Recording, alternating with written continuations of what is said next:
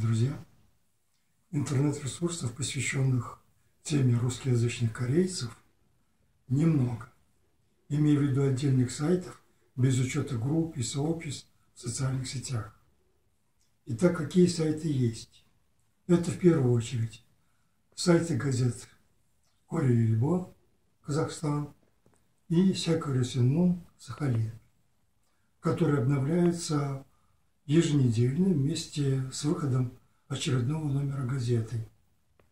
Из отдельных ресурсов выделил бы сайты ariran.ru Москва, Кореян клуб, Корейский медиаклуб Санкт-Петербург, Корел интерактивное сообщество, Коресаром Россия и сайт Коресаром Ташкент. Кроме, ну вот, и как заметил выше, есть множество групп и сообществ в социальных сетях, которые рассказывают о жизни русскоязычных корейцев. Кроме этого, заметил бы, что в социальных сетях есть персональные, страни... персональные страницы корейцев, которые в силу своей национальной принадлежности иногда рассказывают об истории семьи, о себе, о корейцах, которые вполне становятся нашей всеобщей историей. Что можно сказать обо всех этих ресурсах? Сайты газет точно повторяют свою бумажную версию, несмотря на возможность обновляться по мере поступления новой информации. И если идти в ногу со временем, то газеты должны обновлять свою электронную версию ежедневно, чтобы отвечать вызовам времени. Сайт ariran.ru Москва Первый сайт на тему Корисаром, к сожалению, сейчас не обновляется, находится на стадии, находится на стадии переформатирования. Кореян клуб, корейский медиаклуб Санкт-Петербург, относительно новый сайт. Это новый ресурс,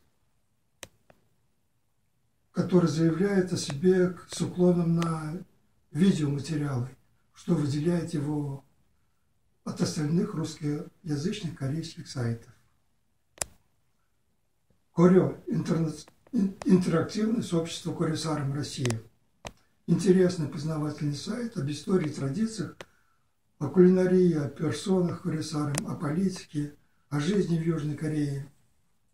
Сайт с широким охватом тем различных, что делает его ну, в какой-то мере универсальным.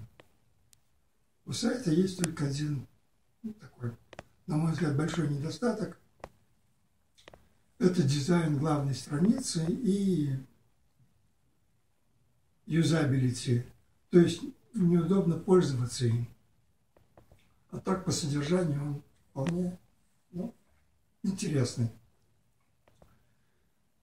Перейдем к сообществам, группах в социальных сетях. Им, их много, с десятками тысяч участников в Одноклассниках, ВКонтакте. В Фейсбуке они тоже есть, но их гораздо меньше. И сообществ меньше, и количество участников там тоже ну, ну, на порядок меньше. Но я бы заметил, что по качеству подаваемой информации группы в Фейсбуке, они ну, гораздо выше по своему содержанию. Кроме групп и сообществ, как я заметил, в социальных сетях, я бы особенно выделил, выделил бы персональные страницы корейцев, которые ну, рассказывают о себе, и их не рассказы иногда, ну и даже часто, ну, находятся тренде времени, и всегда они, вернее, очень часто они интересны. Интересны и значимы для всех нас, для Курисара. Я еще не сказал о сайтах корейских общественных организаций Москвы, Алматы, Ташкента. Можно сделать вывод, что пока у нас в русскоязычном интернете нет достойного сайта, который был бы равен по уровню нации, который они представляют. Столь печальный вывод делаю потому, что до сих пор у Комиссаром нет профессионального сайта.